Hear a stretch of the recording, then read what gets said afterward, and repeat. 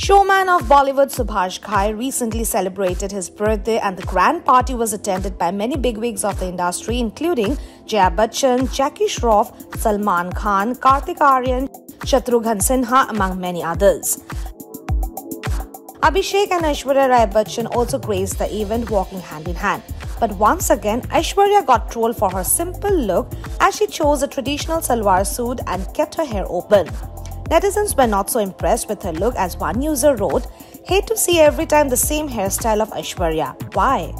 Another one commented, Her dressing sense has worsened.